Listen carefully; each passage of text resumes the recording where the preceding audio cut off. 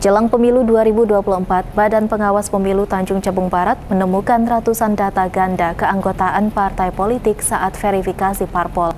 Meski demikian, perbaikan data ganda parpol telah dimulai sejak 25 Agustus hingga 1 September mendatang. Jelang pemilu serentak tahun 2024 mendatang, berbagai tahapan telah dilakukan oleh penyelenggara pemilu. Seperti halnya saat ini, pihak Bawaslu Tanjung Jabung Barat masih menemukan data ganda keanggotaan partai politik, yakni data ganda internal yang ditemukan oleh pihak Bawaslu, sebanyak 2033 data ganda partai politik. Data ganda tersebut bersifat internal keanggotaan partai politik sehingga berpotensi tidak memenuhi syarat dalam sistem informasi partai politik atau SIPOL. Ribuan data ganda tersebut ditemui di berbagai partai politik. Dalam kesempatan ini, Divisi Penanganan Pelanggaran dan Penyelesaian Sengketa, Yasin mengatakan, saat ini pihaknya telah selesai melakukan verifikasi terhadap partai politik yang sudah terdaftar di KPU Republik Indonesia untuk mengikuti pemilu 2024 mendatang.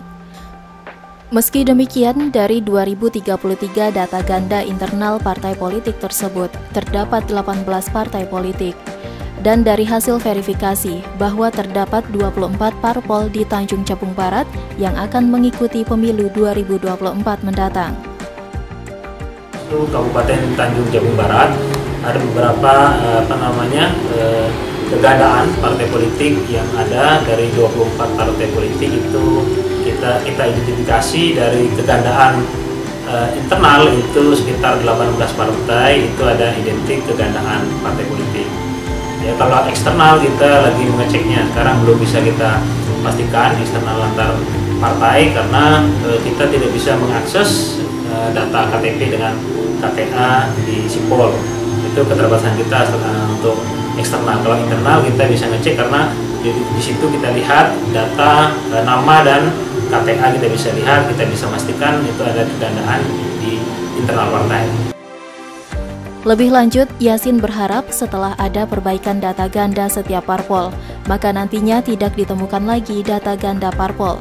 Dan diharapkan pada momen perbaikan data ganda parpol ini, pihak parpol segera memanfaatkan momen tersebut dengan baik. Surya Kurniawan, Cek TV, melaporkan.